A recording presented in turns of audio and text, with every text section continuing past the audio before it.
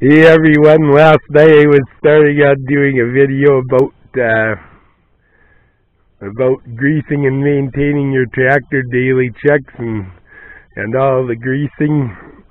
And the far the farm Farmalls are very similar to these so uh, and I will explain what's on the farm Farmall what's not on these. So uh, before I do anything concerning greasing before I point out the grease points, I will, uh, I'm going to, to go through the two important checks that you gotta do, do with your tractor before starting them up every, before, every, before, every day. The first daily check you gotta do before starting up is check your antifreeze. And you should be able to touch the antifreeze. If you can't touch the antifreeze, you better add some on these older tractors, especially if it's a diesel. If you don't have enough antifreeze, you will crack the head on them. And the second thing you check is the oil. Some of the gasoline engines have a dipstick, and all the diesels do have a dipstick right here. Some have petcock, some of these C264s and the the for, uh, application of a 400, the uh, they they have a dipstick, but these still have the petcocks. This is your uh, high level petcock. If it's uh, this is this is like the full and low on a dip uh, on a dipstick. This is the full, and this is the low. So check the full and see if there's anti there's oil runs out.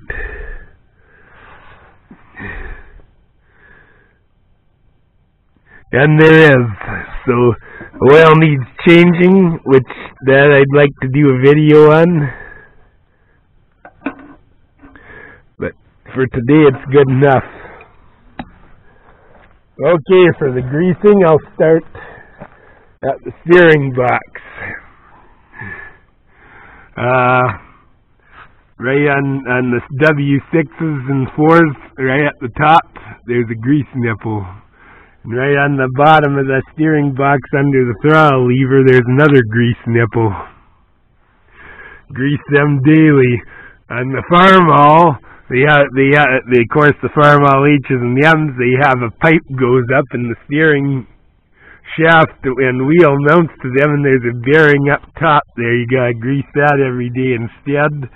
And the second bearing on a Farmall you gotta do is underneath the hood on the Farmall. The hood is shaped different, of course, and then there's a hole right at the top of the hood, and in there, there's a grease nipple. You gotta get that one every day.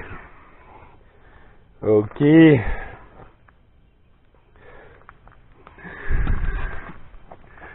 This clutch shaft greases every day. It only takes a shot or two. The kingpins, grease them daily till the grease comes out. Here's your axle swivel, grease it daily. Your distributor grease every oil change. It only needs a couple shots of magneto. If the tractor is so equipped with a magneto, you oil them every oil change. Yeah. Okay, your uh, your spindles, you grease them every day until the grease runs out like I did last night. Both sides. Your drag link, of course you got a Farmall tractor, you don't have that. You grease it every day till the grease runs out. Same with these uh, these uh, kingpins. Now on the water pump, on the sixes, there are two nipples here, and the nines, and the M's, and so on. And one could have this cap on. Now, the H's and W4s have a nipple right in here, right by the fan, and, and one here. And that nipple on them usually has this cap on, so if you're not, if, in case you're wondering, that's what's, what's there, and that should be greased daily until you're Usually doesn't take much. Like the last time I greased it, took three shots and the grease gun tightened up. I don't want to over grease them, but they have to be greased. Uh, this uh, clutch shaft right here. The, this is the opposite end of it every day. Grease it, grease it up every day. And the drag link. Grease them every day. And then we go underneath and grease that. On this particular tractor, the farmer that owned it took great pride and put grease nipples in the wheels. And I grease them, I give them a little bit every day. But uh, from the factory, and most tractors are like this, they're packed. The same with uh, this, uh, the end of this wishbone, he put a grease nipple on it. And most, they, they don't have that from the factory.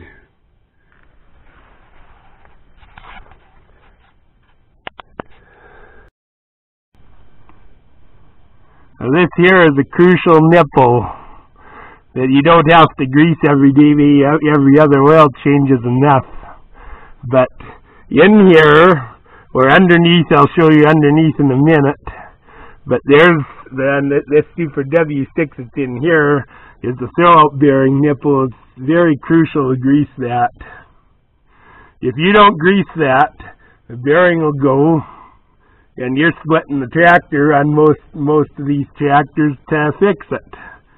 So uh, I, they, since it's due for the oil change, I'm going to grease it right now and give it about five shots maybe, or until it tightens up. There, that's good enough.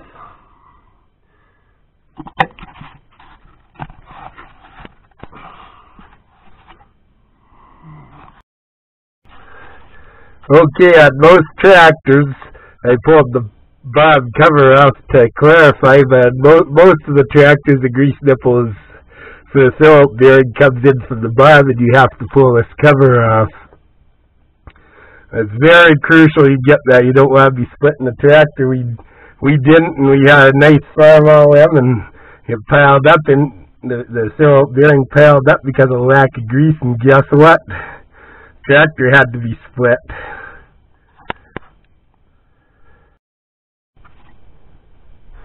Okay, these bearings here, the Farmalls are easy, you can get them from the top, but these these bearings on each wheel, I deliberately over grease them.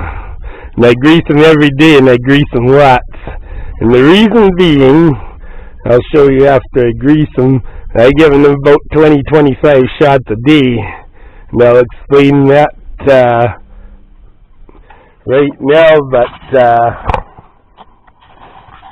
the bull gears run very close to the housing here.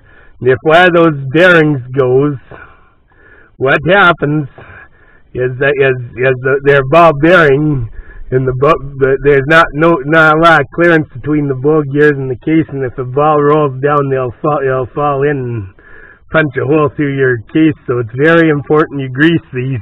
And by over greasing them, what I'm doing and we've done this for 70 years, our family. We've had had these tractors in the family that long. But what we're doing is we're, we're the reason we're over greasing is we're we're we're putting grease in the housing, so if a bearing does go, it's it, it uh, it'll catch the the grease will catch the balls and prevent them from poking holes through the case.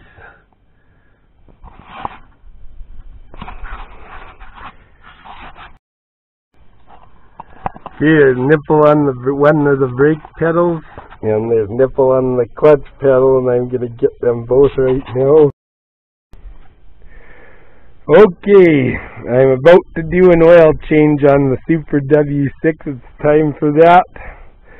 I got some of the stuff. This is, this is a Fleetguard number, LF584. The IH number, the newer, the changed up number is 376375R91.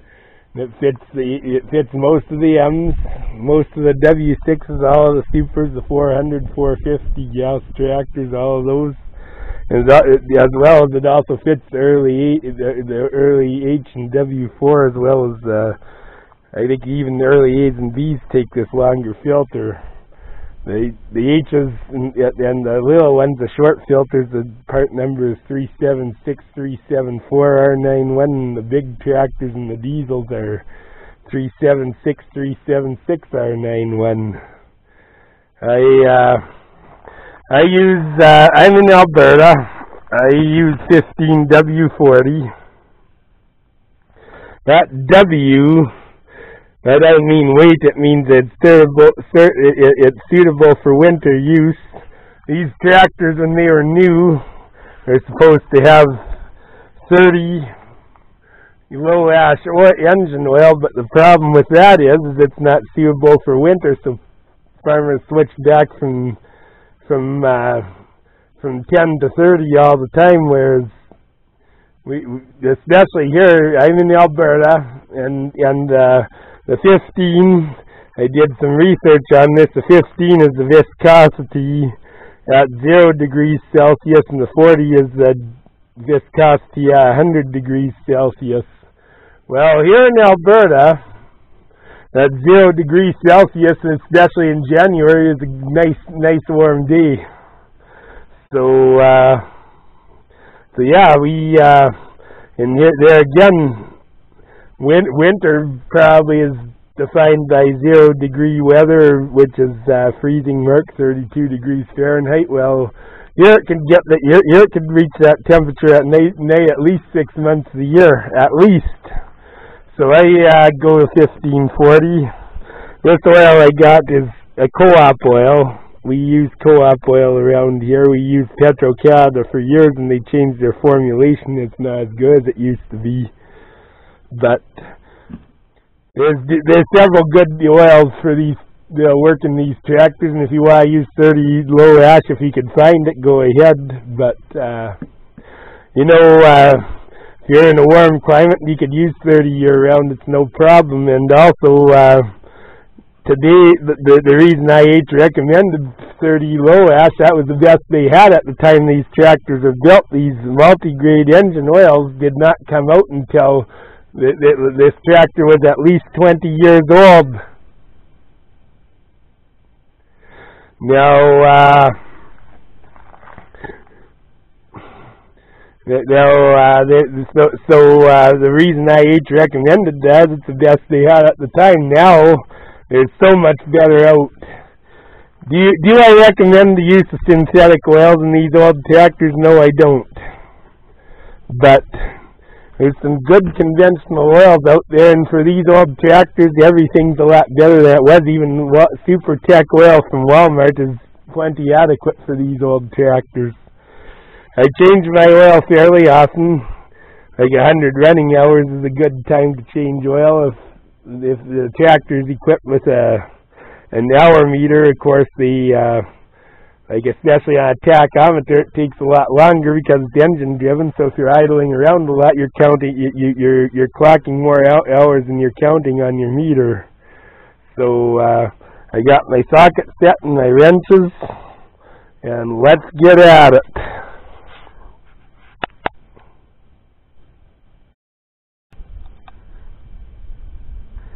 Okay. Usually these drain plugs take inch and eighth wrenching. That's what this one takes, I'm pretty sure of it. wishbone on these standards makes a pain.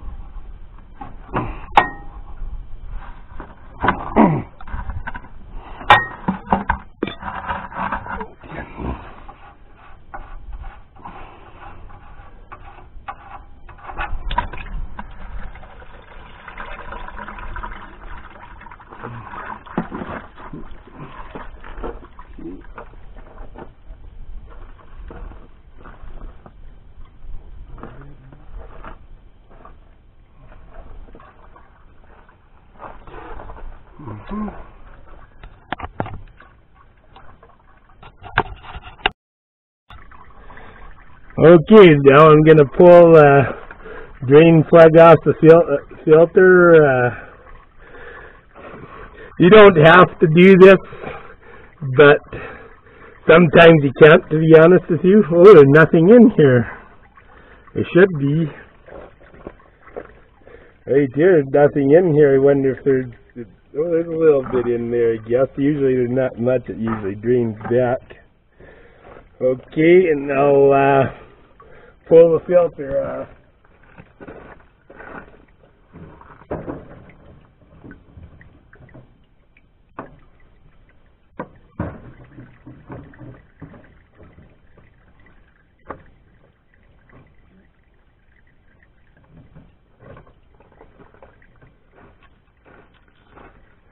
I believe there's seven eighths. Yeah, they are. Sometimes they, sometimes the filters get airlocked and, oh, this one's not, uh,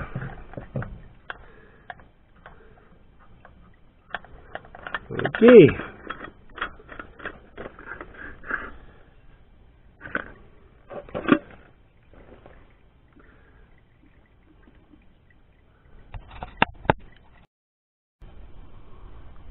Okay, now that I got the filter off, I'll clean, there's sludge in here. The tractor was sitting and seized up for a while and I did change the oil in it and changed it actually fairly recently, but after so, because it was sitting so long, you get sludge and often gathers down there, so that's another reason I pull, I like to pull the plug out. I get get that cleaned out to get rid of that. Keep your engine as clean as you can.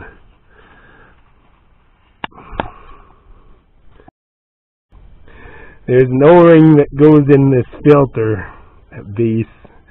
It it often comes with a new filter, but you don't have to change that every time.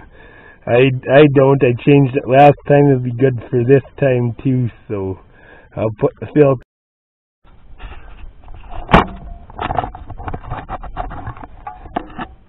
Okay, I'm gonna put the filter back on. Camera's tilted a bit because I got sitting on the coil. I'm filming myself with a magnet, a magnet on my camera, but gotta make sure that filter's sitting in that O-ring as good as you can. You know, if you get off, you could break bend the filter and make it housing and make it. Uh, it won't feel again. You bend the housing actually. Tighten this good and tight. Okay. Set my camera up again. And put the drain plug in the filter. And as with all drain plugs, they're either out or they're tight. You don't ever don't ever screw a drain plug in fi, fi, finger tight and and leave. Otherwise, you're gonna you're gonna end up having a bad day one day if you do that. That that's what happens if you leave a, a, a, a drain plug fi, finger tight.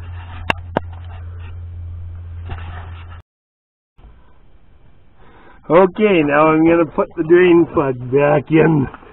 And it's the exact same principle.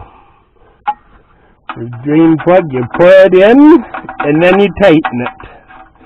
My dad, he's a heavy duty mechanic by trade.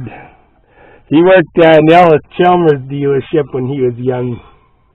And he uh, rebuilt the engine, the 190, and the engine, and it was a real good tractor. The engine turned out really well. The customer was really happy with it. And the hired hired man went and changed the oil and put the drain plug in finger tight. And he ended up having to rebuild his engine again because of stupidity. So make sure that drain plug is tight or leave, leave it out completely. Mm, there again. Twenty-eight thousand dollars.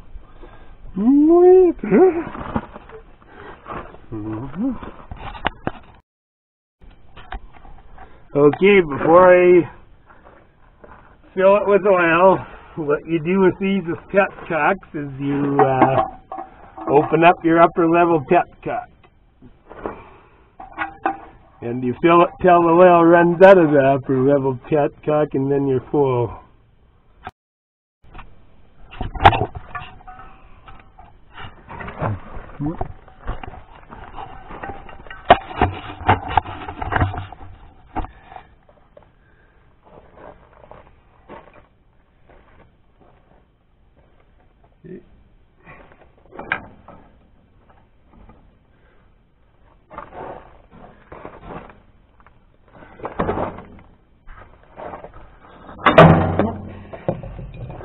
That was a big oops.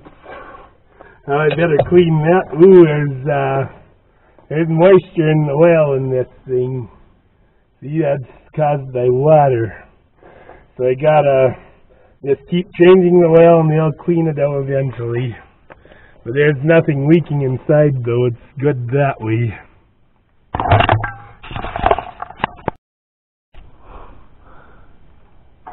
Okay, now we're going to put oil in the engine.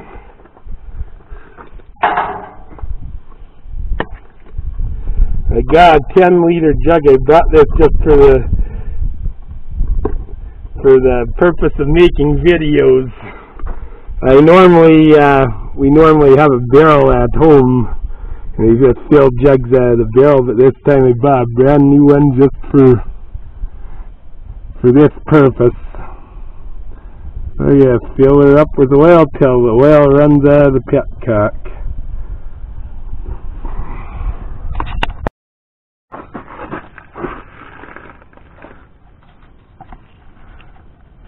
Okay, we're gonna fill her up. You guys will probably see this run out before I do.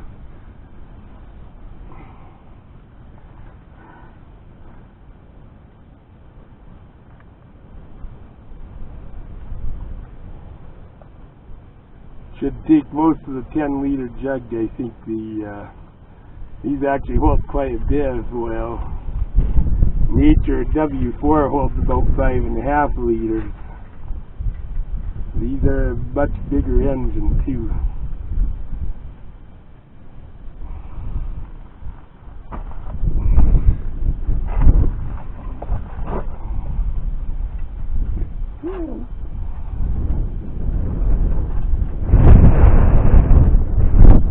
Wind, wind, go away. I hate wind and the wind coming up and doing an oil change. That's uh, in wind is a bad, bad idea.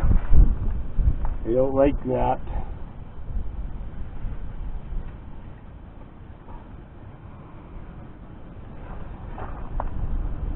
Still no drip out of there.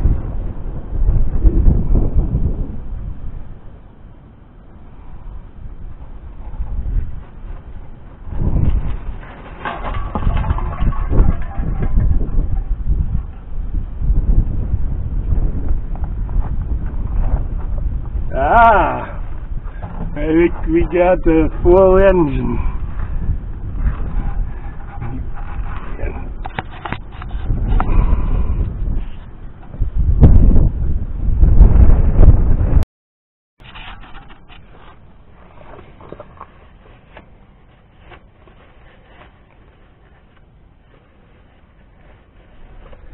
Of course, cleanliness is imperative and I dropped this silly thing I clean her off.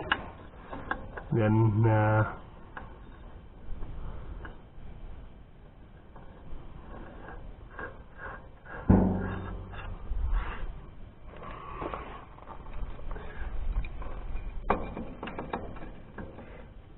It should be tightened a bit, you don't want to tighten it too tight, but should be tightened.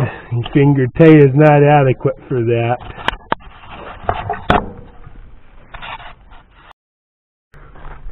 Okay, next step. Fire up the tractor and check for leaks.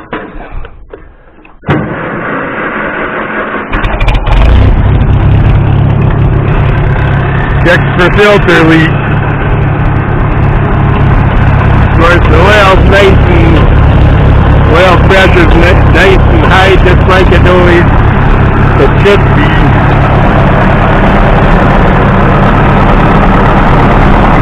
Doesn't look like there's any leak. There's a little bit of it's wet there because uh, the gasket's wet, but I don't think it's leaking, so we're good to go.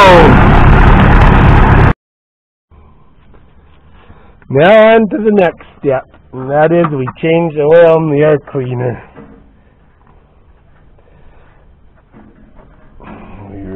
the cloud.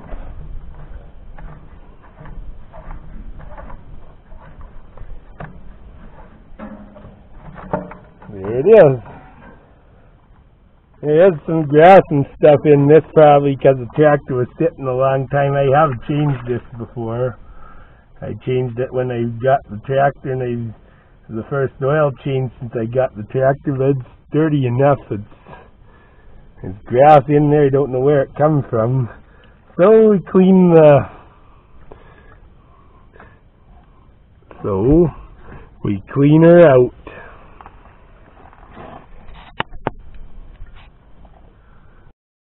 I got her, got my air cleaner cup all cleaned out. I washed it with Varsol and the rag. Now I'm going to fill it with oil. Now what kind of oil do I use in this air cleaner? Well, I'll show you.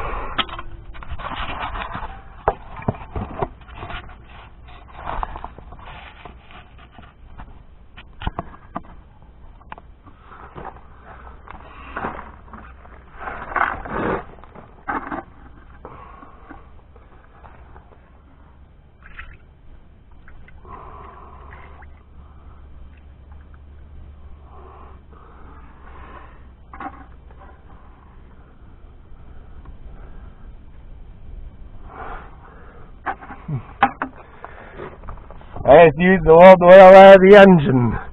Your uh, the oil uh, oil in the air cleaner doesn't lubricate anything. It's just there to catch dust. So uh, it holds about two liters. The oil is uh, about five bucks a liter. So uh, might, might as well just use the old oil of the engine if it's clean enough. If it's totally sludgy, yucky stuff, I wouldn't use it, but this stuff I change the oil often enough that it'll work just fine for an air cleaner.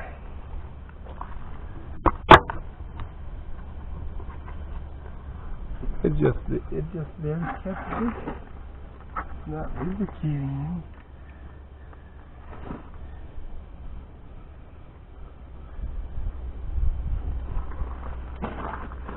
I fill it right up somewhere.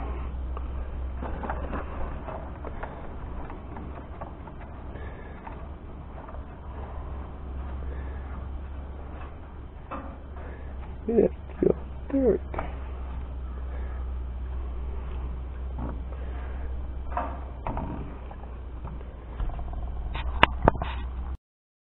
Okay, another check is the steering box level and on a Farmall you gotta pull the grill for that.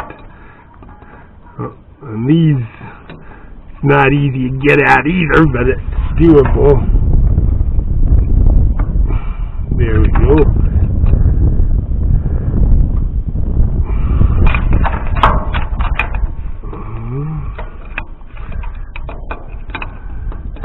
Uh, one more thing.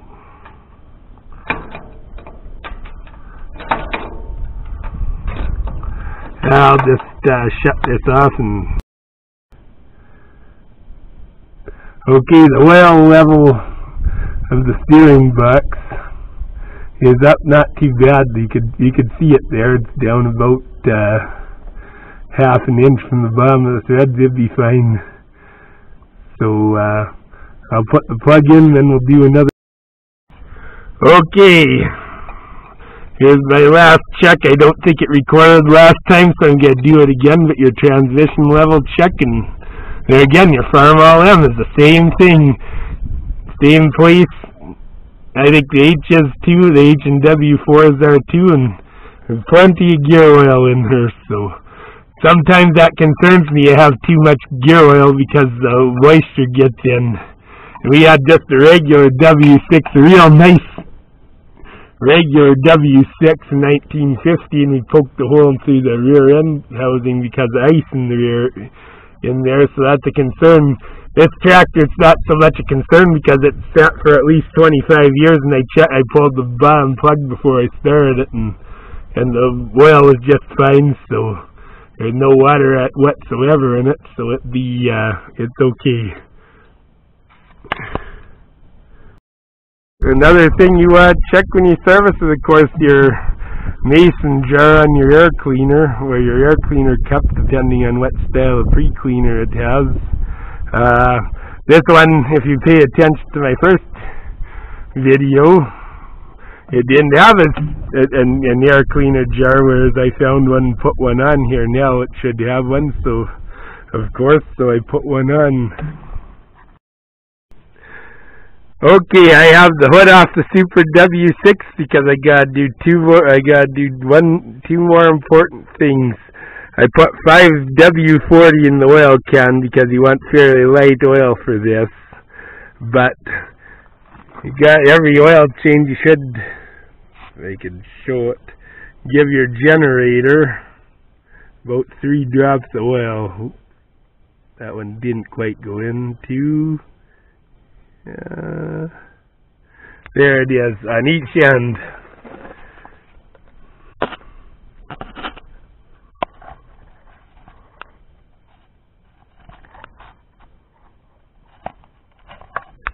There we go. The same applies to the starter. There's a bearing, an oil cup right here on the starter. It gives that oil too. I if I could fill them in oil, but I get a try.